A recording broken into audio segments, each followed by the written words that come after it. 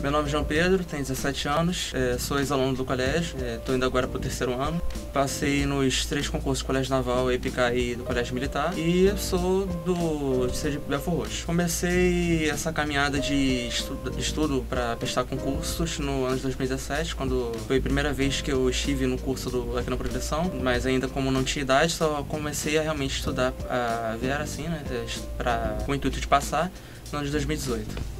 Conheci o Progressão através do meu pai, né? Ele comentou comigo o que que tinha concurso, né? Era pré-militares, pré-vestibulares, né? Para para coisas que eu gostaria de me tornar na, futuramente. Ah, eu acordava de manhã, colégio, voltava para casa, tal, descansava um pouco e depois passava o resto da tarde estudando. Às vezes eu estendia para o resto da noite. Foi mais ou menos ali na primeira vez que eu, que eu bati na trave no, na IPK eu fiquei numa colocação boa, mas também não tão boa. Fiquei ali entre os primeiros aprovados ali e tal, é, os primeiros mil, só que eu fiquei muito atrás. Eu fiquei lá por volta de 700, então eu me senti, tipo, ainda que eu tivesse passado, não tivesse tão bem assim. E da, da mesma forma, eu fui chamado para fazer os exames, só que ainda assim eu fui aprovado nos exames. Então foi um, um baque na hora, né? Não, não foi a, o que eu tava esperando. Mas ainda assim eu não desisti e tentei no ano seguinte. É, é, persistir né, em busca dos meus sonhos e também porque me senti como se fosse um, uma espécie de desafio pessoal também, né? Bati na trave no, no, ano passado, né, no ano anterior, então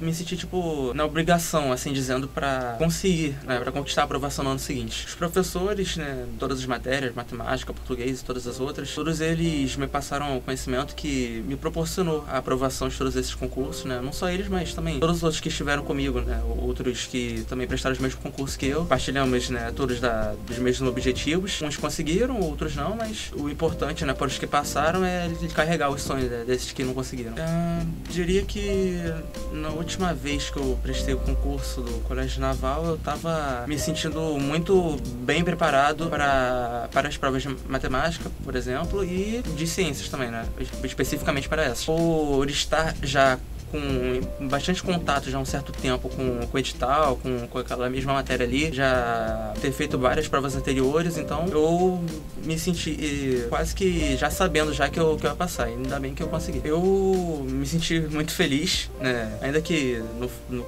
nessa questão do colégio naval não tenha sido a minha primeira aprovação, mas é sempre uma felicidade muito grande, né? Principalmente porque eu, eu tenho a oportunidade de continuar dar a sequência ao que eu quero, né? Para o meu futuro. Então, passar né, tanto a colégio naval, né, dessa vez que, que eu consegui passar, é, são oportunidades que não acontecem to a todo momento. Então é sempre uma grande alegria, uma grande felicidade poder estar, avançar. Né? Meu plano, primeiramente, seria entrar para EPICAR, era o meu sonho. Acabou que não conquistei, mas né, um, um plano B de luxo, assim dizendo, seria o colégio naval. Então eu quero estar né, pronto para futuramente estar lá em Angra, estudar tudo o que for necessário, fazer o os exercícios, tudo que eu, que eu, puder para futuramente ser um militar de carreira e também pelo que eu quero que eu gostaria de ser engenheiro. Então, é, estudar por lá, né, uma faculdade deles, né, é melhor ainda. Eu tinha esse, essa querência, esse objetivo de querer ser engenheiro já antes de conhecer a progressão, né, já era algo que eu já queria de antes. Então,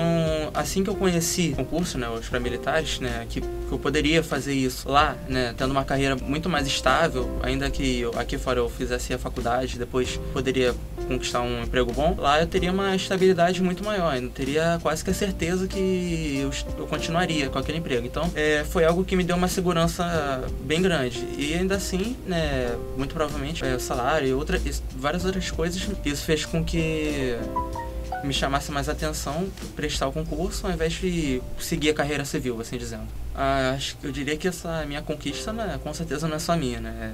Primeiro de tudo, gostaria de agradecer a Deus por estar aqui. É, gostaria de agradecer toda a minha família, meus pais, meus avós. Minha, minha avó, ela sempre, toda vez, até quando não está em época de concurso, ela sempre fala para eu continuar estudando, para dar orgulho aos meus pais. É isso que eu sempre venho tentando. Ah, gostaria de dedicar também para todos os meus é, ex-professores e professores que virão a me dar aula ainda, que eles me proporcionaram essas conquistas. Todos os meus amigos também, que eles sempre me deram força. Ah, com certeza indicaria, né? Se eu estivesse em casa estudando desde o começo, eu com certeza não, não teria passado nas coisas que eu passei. Talvez passaria um aqui, outra lá, mas né, com o nível de conhecimento que eu tenho agora e com a maturidade de concurso que eu tenho, conquistei né, por estar aqui. É, gostaria de dizer para todos vocês né, que não é para desistir dos seus objetivos nunca.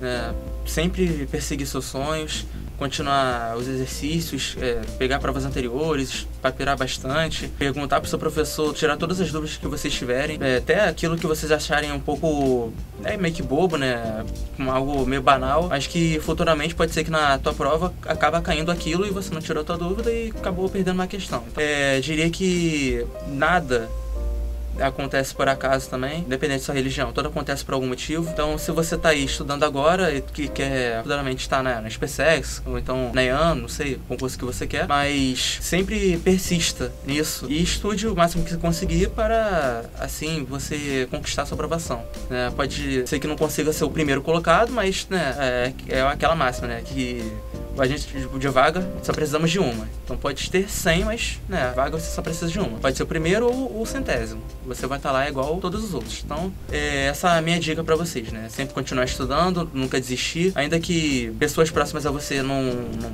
forneça aquela, aquela ajuda, aquela confiança que dê a mesma ajuda que, que me deram. Mas se você quer conquistar alguma coisa, quer conquistar algum objetivo na sua vida, independente da sua classe social também, você tem que sempre continuar na, no seu objetivo. Sempre ter um foco e perseguir.